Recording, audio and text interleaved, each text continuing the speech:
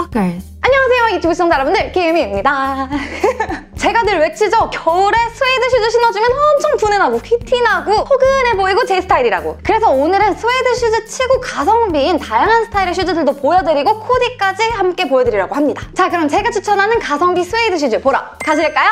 Stalkers. 첫 번째 추천은 chukka부츠 스타일의 레오입니다. 너무 둥글지도 날렵하지도 않은 적당한 shape감에 컬러 매칭된 끈으로 묶어줘서 깔끔 담백한 스타일입니다. 영국산 스웨이드를 사용했다고 하는데요. 딱 봤을 때 군더더기 없는 두툼하면서 부드러운 질감의 스웨이드였습니다. sole은 어두운 컬러의 crepe sole을 사용해줘서 캐주얼한 느낌을 주면서도 깔끔 단정한 맛을 내줍니다. 그래서 미니멀 캐주얼 왔다 갔다 하시는 분들께 추천드리고 싶네요. 세 가지 colorway로 블랙은 굉장히 매트한 블랙을 사용했고 두 개의 브라운 컬러는 밝기 차이가 나기 때문에 취향에 따라 선택하실 수 있을 것 같 습니다. 하지만 개인적으로 이 snuff 컬러감이 제 취향이에요. 이 제품 착화감이 진짜 좋다고 저희 팀원들이 극찬을 했는데요. 착화감이 굉장히 폭신폭신하고 편해서 오래 걸으셔도 문제없을 슈즈로 추천드릴게요. 발등 발볼러이신 분들은 반 사이즈에서 한 사이즈 정도 up하는 걸 추천드리는데요. 자세한 사이즈 문의는 브랜드 측에 드리는 걸 추천드려요. 스웨이드 슈즈가 처음이신 분들은 코디를 하실 때 조금 어 이거 어떻게 코디하지 어려워 라고 생각을 하실 수 있는데 chukka 부츠 하면 떠오르는 건 저는 제임스 본드 브금 깔아줘 저작권 관련 안 돼. 해줘!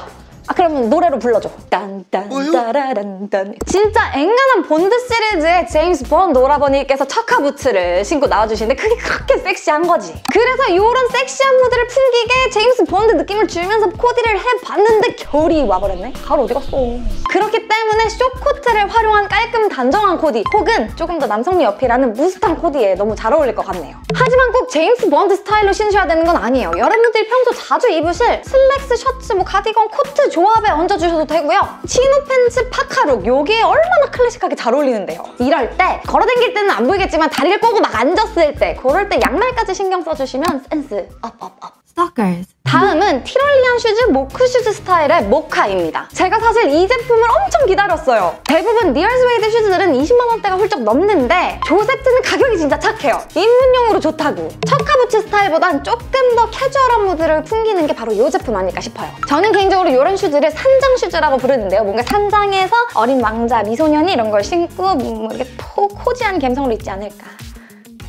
마찬가지로 두께감이 있지만 부드러운 스웨이드와 좀 더 밝은 컬러감의 crepe sole이 사용되었습니다. shape감은 앞서 보신 chukka boots랑 비교하셨을 때 조금 더 squarely한 느낌이 나주고 굵게 stitching 작업이 들어가줘서 이것 또한 귀여운 포인트라고. 그래서 저는 평소 스니커즈를 자주 신는다. 근데 뭔가 스웨이드 슈즈 하나 영입하고 싶다 하시는 분들께는 이 스타일을 추천드려요. 착화감은 마찬가지로 폭신폭신하니 편했습니다. 발등 발볼러분은 사이즈 up을 하시는 걸 추천드리지만 다시 한번 말씀드리는 건 정확한 사이즈 문의는 브랜드 측에 요청해주세요. 세 가지 colorway로 입문하시기 좋을 컬러감들인데 이 그레이 컬러감에 한 방울의 베이지 컬러가 섞인데 이게 오묘해서 추천드려 보겠습니다. 그래서 추천드리는 코디는 좀 다양하게 보여드리고 싶었어요. 이런 거 컬러 데님에 매칭해줘도 너무 이쁘다? 뽀짝 함이 살아나지 않아요? 혹은 전체적인 tone on tone 클래식 캐주얼 룩을 연출해줄 때도 이 스웨이드 슈즈 때문에 뭔가 분해 포인트인 거지. 스니커즈를 신었을 때보다는 살짝의 어른미가 느껴진다랄까요? 아니면 계속 추천드리는 치노 팬츠 룩에 활용하시는 거 적극 추천드리도록 하겠습니다. 제 취향이에요.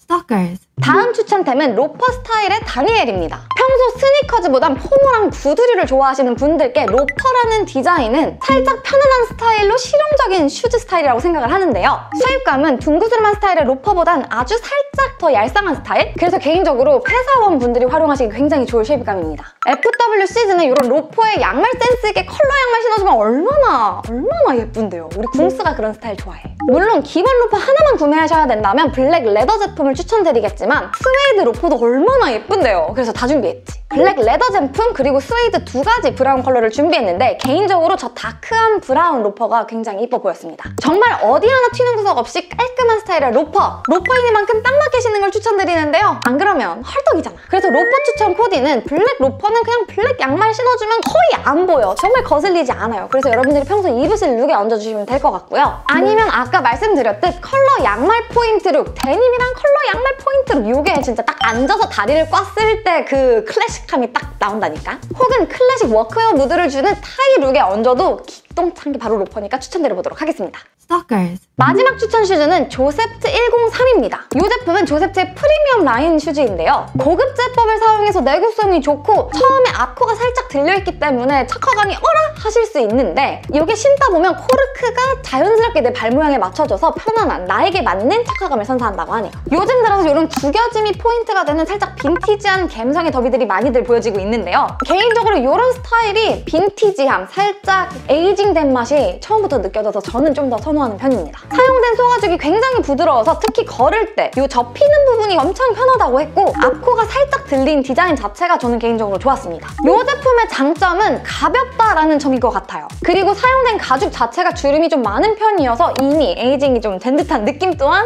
극호. 그래서 이 슈즈는 여러분들이 평소에 입으실 코트 스타일링에도 깔끔하게 연출하실 수 있고요. 그리고 이런 구겨진 스타일의 derby는 치노 팬츠랑 어울리니까 이것도 한번 추천드릴게요.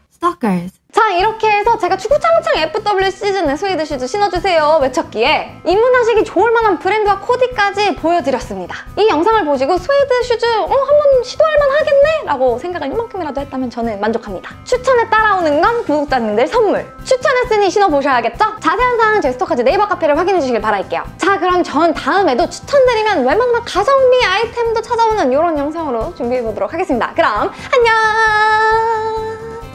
스웨이드 조합 분해 조합